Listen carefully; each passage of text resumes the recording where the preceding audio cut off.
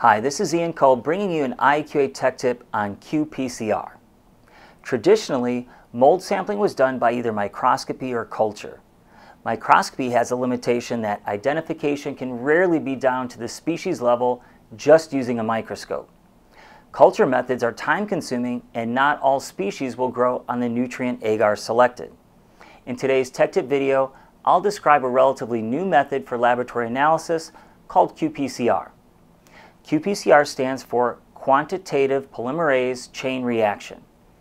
In this short video, I'll only be scratching the surface as the theory and mechanisms behind this testing method requires extensive knowledge. qPCR is a laboratory-based testing method which can identify fungi such as mold to the species level.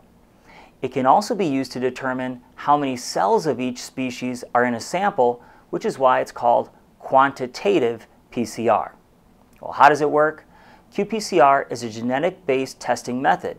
It looks for species-specific sequences of DNA in your sample. If there's a DNA match, the results are given in cell equivalents, which is different than the units given by other methods such as spores or colony-forming units. qPCR is a quick and accurate way to determine what is in a sample. However, it does have some drawbacks. A large drawback is that qPCR will only look for what you tell it to look for. A sample could be loaded with a single species, but if you don't have the lab target that specific species, you'll get a result of zero. Another drawback is that qPCR is relatively expensive.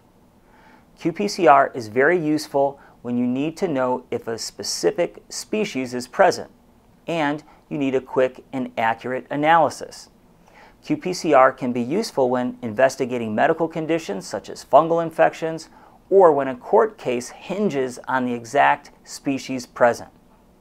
Talk to your laboratory about sample collection methods, but options include air samples, surface samples, bulk samples, and dust samples.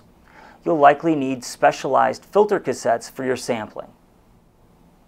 If you'd like to learn more about sampling for mold, consider taking classes in the IAQA University. Visit the IAQA website for more information.